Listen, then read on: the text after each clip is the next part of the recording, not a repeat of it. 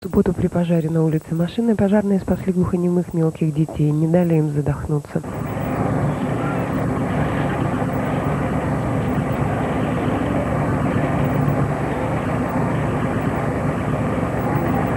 Около 11 часов вечера на машиной 38 горела 147-я квартира. Алкоголик и пенсионер Евгений Помпа, это реальная фамилия, этот Помпа запалил свою квартиру. Пожарные вытащили из огня Помпу, человека с непожароопасной фамилией, и пьяного Помпа увезла скорая с ожогом верхних дыхательных путей и 13% кожи. Сейчас Помпа в больнице, ему тяжело.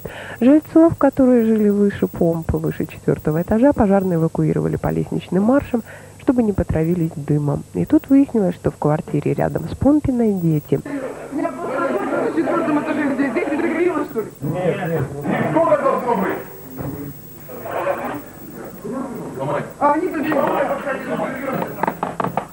В квартире рядом оказалась отрезана мама с двумя детьми, глухонемая семья.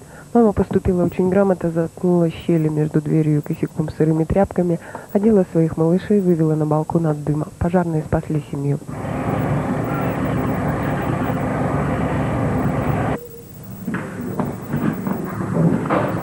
Ну все.